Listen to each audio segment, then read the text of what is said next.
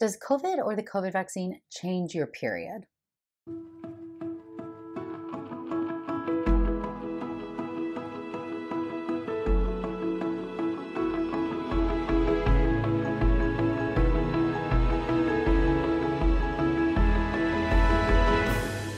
Hey friends, today I'm talking all about menstrual cycle changes and COVID.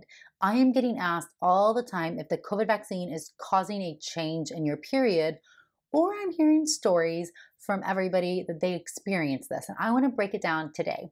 First of all, I'm Natalie Crawford. I am a board certified OBGYN and infertility doctor in Austin, Texas. This channel exists to educate you about all things fertility and your body, so please subscribe if you'd like to follow along and learn more. I have a ton of videos on COVID, so please, this is not the only one. There's an entire playlist where you can go dive into things. Does the COVID vaccine cause female sterilization? No. What is the current recommendation on the COVID vaccine if you're trying to get pregnant or pregnant? Does COVID impact male infertility? Yes. Today, I'm not addressing does the COVID vaccine cause sterilization? Because I've already busted that myth extensively. However, I do want to address the one study that exists on COVID and what it does to your female hormones, to your HPO or hypothalamic pituitary ovarian axis, and your ovarian reserve. First of all, lots of you guys have been saying that your periods have been changed.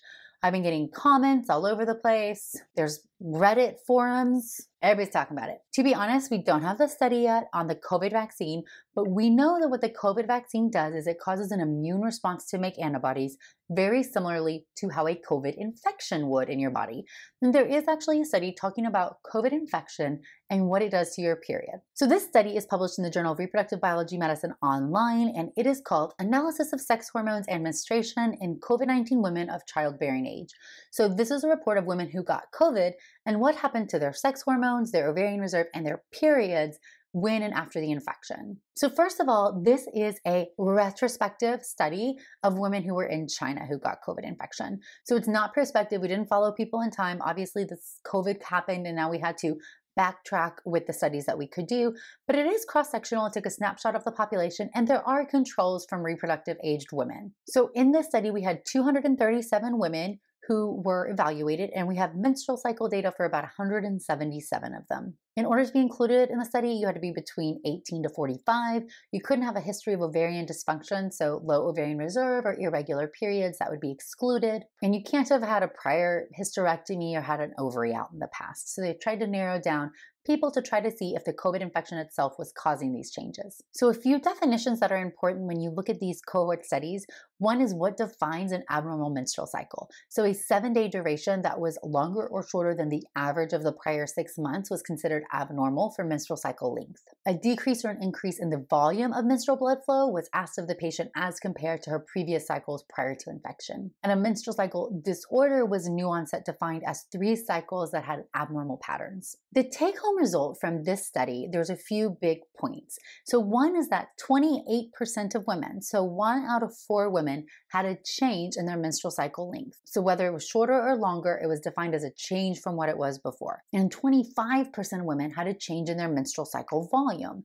And so, what we're seeing is a quarter of all women who had a COVID infection had some change in their period pattern. In order to understand that better, sex hormones were evaluated as well. Why could this happen? So, a couple different theories. One is that COVID, like other infections, can sometimes mess up your HPO axis. And what that means is your hormones start being secreted in abnormal patterns. This will result in abnormal ovulation. We see this with extreme stress response. We also see it with other type of viral infections like hepatitis B and C. We also know that chronic stress, so women who maybe are more ill would get treatment, they might even get steroids, and that can impact the HPO axis and ovulation that's well delineated other theories for COVID specifically. We know that COVID impacts with the ACE2 receptor. This is really common in the lungs, and that's why it's mostly a lung infection. Well, there's also ACE2 receptors in the testes, and spoiler alert, we do see male infertility and a drop in semen parameters with COVID infection. And there are some ACE2 receptors in the granulosa cells, or the cells that surround the ovary. And so the hypothesis is is COVID infection changing the ovarian response to hormones or how the brain secretes the hormones? In this graph, what we are seeing is that the mean concentrations of some of the sex hormones, FSH, LH, estrogen, testosterone, were marginally higher in both the mildly and the severe group than the controls. This was not statistically significant, but this could be representing a small ovarian dysfunction during the acute illness phase that will resolve over time. Another piece of the puzzle that everybody's really scared of is is COVID causing a drop in your ovarian reserve? I've said over and over again that we don't have any evidence of this, and this study supports that statement. So, AMH or anti Mullerian hormone was checked in all women, and there was no change in AMH levels in people who had COVID or did not. So, COVID is not getting into the ovary and dropping your ovarian reserve or causing you to go into menopause early. And some viruses could do that. A notable one is HIV. What does this leave us with? Why are we seeing menstrual cycle changes? What this means is that if a quarter of all women who get COVID have menstrual cycle changes, it is most likely from the cellular immunity response. So, this means that it's that huge inflammatory response. And if you've had COVID, you've felt that, or if you got the vaccine and you had some of those systemic symptoms, fevers, chills, muscle aches, that is your body mounting an immunity. That response is impacting the period. And so, in that response to that stressful situation, we are seeing a subsequent menstrual cycle change. This has been transient. So, in this study, women were followed. If for one to two months their periods returned to normal, there was not long term abnormalities. And even in subgroup analysis, we did not see that women who had more severe disease were having more menstrual cycle changes than women with mild disease. So, that makes us feel that it's not necessarily the treatment for COVID, but actually something about the immune response itself because the vaccine elicits the same immune response, again, it's an mRNA vaccine, it is not surprising that if a quarter of all women who got COVID had menstrual cycle changes, that that is a transient thing that could be seen from the vaccine as well. You should not be concerned if you get the vaccine that your ovarian reserve is going to be impacted or your future fertility. Certainly, if you have menstrual cycle changes, you're going to want to monitor that and you're going to want to make sure that this is not going to be something that persists or some new development. A limitation of the study is that these were not early follicular phase values of FSH and LH and estradiol. That would give us the most reassurance that this is not impacting ovulation. We do know that acute infection or stress can impact ovulation and it's transient and temporary, and that may be what we are seeing here. Although once in recovery, there was no long term change to FSH, LH, E2, or AMH, making us feel more reassured that this is a temporary response to stress or an immune change. So this study is helping us say, again, there's no evidence to support that there's an impairment in fertility, ovarian reserve, or prolonged menstrual dysfunction in anybody who's had a COVID infection and thus the COVID vaccine. This study is also telling us that menstrual cycle changes may occur in up to one fourth of all women. And this is important because it's telling us that if you have a temporary lengthening or shortening of your menstrual cycle or a change in the volume, it should not last more than one or two cycles and should recover once you recover.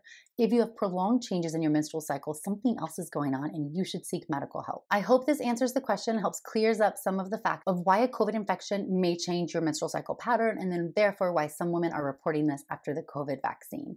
Again, no impact on ovarian reserve. This was temporary and returned, so you should not be worried about your future fertility if you have a COVID infection or you get the COVID vaccine. Also important to know that anytime of high stress can be a situation where your brain may not send out an adequate amount of hormones to ovulate regularly. Having a COVID infection or living in a global pandemic would not be surprising if this was the case. We are also monitoring with the vaccine reporting system the incidence of having menstrual cycle changes as well as other complications. And there have been a few cases, it's not tons, but we have had some cases reported where women are reporting abnormal menstrual cycle changes after the vaccine. And I think that correlates with what we are seeing here. Likely, this is an immune response reaction. Maybe it's impacting the brain from stress or those granulosa cells from the ovaries, potentially causing some early follicular development and abnormal period patterns or abnormal bleeding just as a uterine response that is transient. You see a return to baseline in one to two cycles, and you see no impact on ovarian reserve. For more information, you can always follow the As a Woman podcast for in depth fertility related topics. And I would love it if you would subscribe to the channel. Thanks, friends.